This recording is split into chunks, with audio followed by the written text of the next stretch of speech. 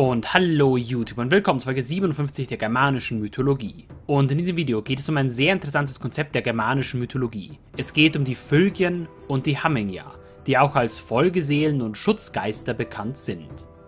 Sowohl die Fylgien wie auch die Hammingja sind weniger bekannte Konzepte, aber dafür umso interessantere Gestalten in der germanischen Mythologie und Kultur, die vor allem auch klar darauf hinweisen, dass die Germanen zumindest einen gewissen Glauben an eine Seele hatten, der sich aber ganz entscheidend von der typischen christlichen Vorstellung einer Seele unterscheidet.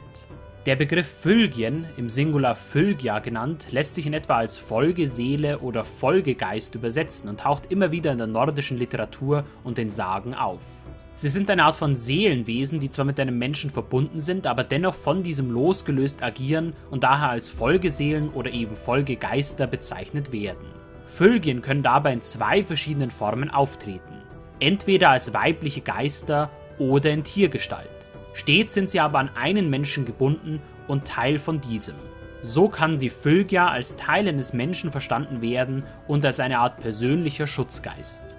Zumeist ist die Fylgia eines Menschen nun unsichtbar, nur im Traum erscheint sie als Frauengestalt ihrem Träger.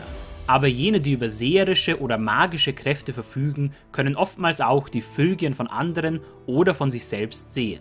Nur in sehr seltenen Fällen erscheinen die Fylgien ihrem Träger oder anderen direkt, zum Beispiel um ihren Träger vor dem nahen Tod zu warnen oder vor ähnlich bedeutenden Ereignissen. Doch Fylgien können noch viel mehr tun, als nur ihrem Träger im Traum oder im Wachen zu erscheinen und diese zu warnen. Sie können auch direkt agieren und Einfluss auf die physische Welt nehmen. In Geschichten, in denen die Fylgien nun direkt Einfluss nehmen, treten sie nun oft auch in Tiergestalt auf, wobei ihre Erscheinungsform den Träger und dessen Charakter repräsentiert. Besonders in dieser Form sind sie auch anderen Personen sichtbar und sie können für ihren Träger Handlungen ausführen. So heißt es, dass die Fylgia eines Feindes ebenso gefährlich ist wie der Feind selbst und man sich sehr davor in Acht nehmen muss, wenn ein Feind seine Fylgia schickt. Gerade diese Funktion der Fylgien wird in den Sagen oftmals auch von Zauberern genutzt. Ein Beispiel dafür findet sich etwa in der Saga von Hrolf Kraki und seinen Kämpfen. Darin verstecken sich die beiden Brüder Helgi und Roa zu Beginn der Geschichte auf der Insel des alten Mannes Wifli vor ihrem Onkel Frodi, der ihren Vater für den Thron ermordet hatte. König Frodi will auch sie töten, damit sie keine Rache an ihm nehmen und seinen Anspruch auf den Thron nicht gefährden können. Um die beiden nun zu finden, sucht Frodi Rat bei seinen Seherinnen, und als diese nach den Brüdern suchen, warnt der alte Mann Wifli die beiden, dass sie sich bald verstecken müssen, denn er spürt, dass große und mächtige Fylgien auf seine Insel gekommen waren. Es scheint hier also ganz so, als hätten die Seherinnen von Frodi ihre Fylgien ausgeschickt, um nach den beiden Brüdern zu suchen, und diese Fylgien sind dann von Wifli erkannt worden, der sie dann warnt. Wie weit der Einfluss von Fylgien auf die reale Welt aber geht, ist unklar. Ihre Kraft, das Schicksal und sogar den nahen Tod ihres Trägers zu erkennen, wird für die Fylgien klar hervorgehoben. Doch wie weit sie in der realen Welt wirken können, ist oft nicht ganz definiert. Wenn man aber bedenkt, dass die Fylge eines Feindes als mindestens so gefährlich und mächtig gesehen wurde wie der Feind selbst, zeigt das, dass ihr Einfluss wohl mindestens genauso groß war, wie der Einfluss des Trägers es gewesen wäre. Zum Teil scheinen die Fylgien hier geradezu wie Doppelgänger des Trägers agieren zu können. Anzumerken ist dabei, dass die Völkchen dazu aber nicht immer in Tierform erscheinen müssen, auch wenn das meistens der Fall zu sein scheint. In der Viga Glums Saga zum Beispiel erscheinen Vögeln als riesige Frauengestalten, die über einem Fjord schweben. Hier scheinen die Vögel auch bis zu einem gewissen Grad an den Ort selbst gebunden zu sein.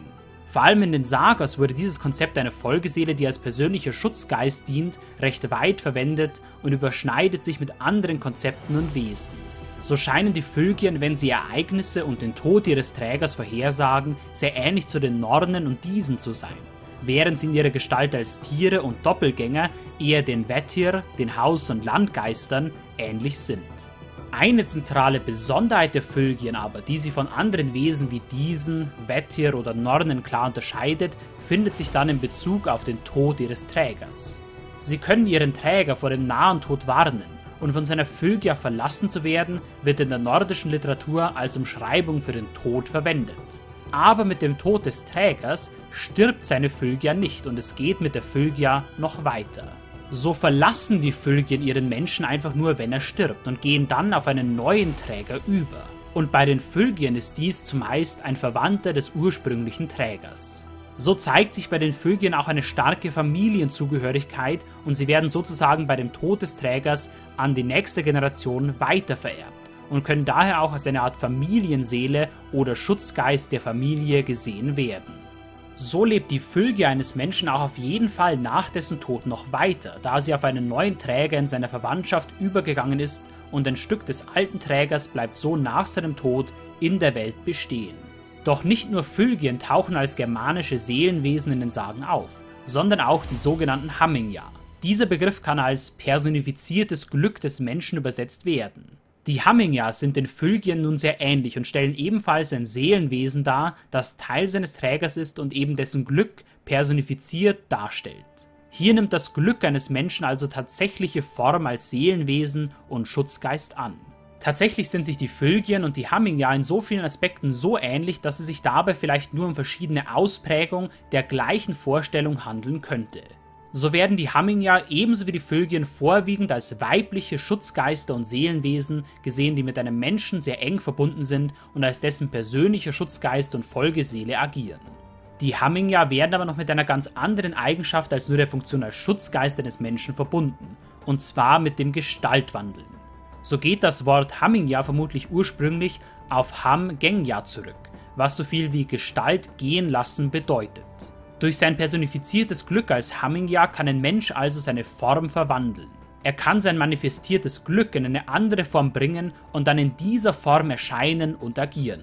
Vor allem auch in dieser Funktion treten die Hammingja oft in Sagen auf, wo sie von Gestaltwandlern genutzt werden. In Bezug auf den Tod des Trägers verhalten sich die Hammingja dann aber wieder sehr ähnlich zu den Fylgien. Auch die Hammingja bleibt nach dem Tod in der Welt zurück und geht auf einen neuen Träger über. Anders als die Fylgien aber scheinen die Hammingja nicht an die Familie des Trägers gebunden zu sein, sondern können auch auf andere Personen übergehen. Außerhalb der Fylgien und der Hammingja gibt es bei den Germanen nun keine weiteren Anzeichen für einen konkreten Glauben an eine Seele. Zwar glaubten die Germanen recht eindeutig an ein Leben nach dem Tod, und es gibt auch viele Hinweise, dass die Germanen ihre Ahnen verehrten, doch eine Seele im christlichen Sinne kannten sie so nicht. Lediglich die Phylgien und die Hammingja als Seelenwesen und Schutzgeister, die sehr stark an einen Menschen gebunden sind und nach dessen Tod in der Welt zurückbleiben, stellen einen Seelenglauben bei den Germanen dar. Und gerade deshalb stellen diese weiblichen Folgeseelen und Schutzgeister, die Fylgien und die Hammingja, die von Träger zu Träger mit dem Tod weiter vererbt werden und dann Teil ihres neuen Trägers werden und als dessen Schutzgeist und Glück agieren, ein so interessantes Konzept dar. Nicht zuletzt auch wegen ihrer magischen Verwendung in den Sagas, wenn begabte Menschen ihre Fylgien ausschicken, die sehr gefährlich sein können, oder ihre Hammingja nutzen, um eine andere Gestalt anzunehmen. Und damit verabschiede ich mich aus dieser Folge zur germanischen Mythologie. Wie immer könnt ihr mir eure Meinung zu diesem Video und eure Vorschläge für das Thema der nächsten Folge in die Kommentare schreiben. Und ich sage danke an meine Patreons und tschüss YouTube und bis nächstes Mal bei der germanischen Mythologie.